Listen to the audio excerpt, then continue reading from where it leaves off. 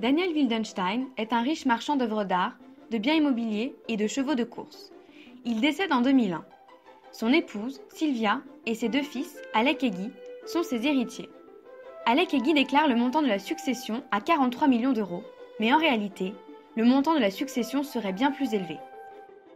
Dix ans plus tard, l'administration fiscale réévalue en effet le montant de la succession à plus de 600 millions d'euros. Un premier redressement fiscal d'un montant de 550 millions d'euros est alors adressé à Guy. Le fisc dépose également plainte pour fraude fiscale sur la succession de Daniel Wildenstein. Le 4 janvier 2016, le procès s'ouvre devant le tribunal correctionnel de Paris. Mais pourquoi la valeur de la succession est-elle si difficile à déterminer? La plupart des biens de Daniel Wildenstein ont été dissimulés dans des trusts situés aux Bahamas, aux îles Caïmans et à Guernesey.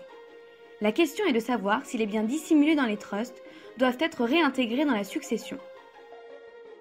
Mais alors, qu'est-ce qu'un trust? Le trust est un contrat entre un constituant et un tiers gestionnaire. Le constituant possède de l'argent et veut rester anonyme. Il abandonne ses biens à un tiers gestionnaire, une banque en général, qui contrôle le trust dans l'intérêt d'un ou plusieurs bénéficiaires. Le gestionnaire prête alors son nom afin que l'administration fiscale ne puisse pas remonter jusqu'à l'identité du constituant. Les trusts sont souvent domiciliés dans les paradis fiscaux, où ils sont à l'abri des investigations de la justice et du fisc que des pays d'origine des biens transférés.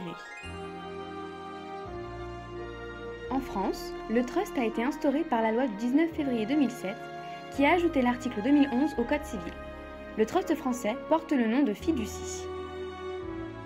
En l'espèce, Daniel Wildenstein a créé des trusts au profit de ses deux fils et de son épouse, qu'il a confiés à plusieurs établissements bancaires.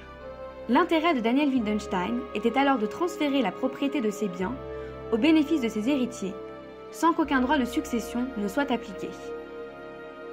Bien que les trusts n'aient donc pas été constitués en France, la jurisprudence admet que les trusts constitués à l'étranger produisent des effets en France. Même si les trusts sont légaux et ne répondent pas nécessairement à une logique de fraude fiscale, l'administration est réticente à leur égard. D'une part, elle considère qu'il est illogique pour une personne de se déposséder effectivement de l'un de ses biens. D'autre part, les pays dans lesquels les trusts sont établis ne tiennent pas de registre de trustees. De ce fait, il n'existe aucun moyen pour les autorités françaises de remonter jusqu'à eux pour prouver une évasion fiscale. Et les Wildenstein dans tout ça?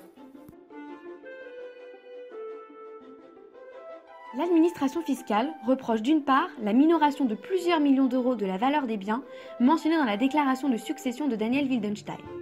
D'autre part, des centaines de millions d'euros de biens auraient été dissimulés dans différents trusts et auraient ainsi échappé à l'imposition de l'administration fiscale française.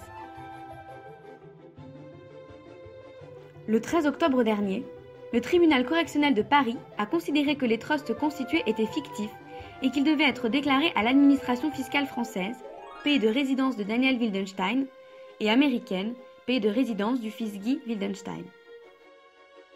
Le parquet souligne également que tous ces trusts auraient été dissimulés dans des paradis fiscaux, ce qui démontre la volonté d'échapper à l'administration fiscale. L'abus de droit est donc bel et bien caractérisé.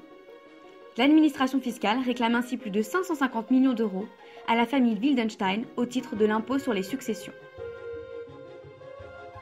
L'affaire suit actuellement son cours devant les tribunaux français.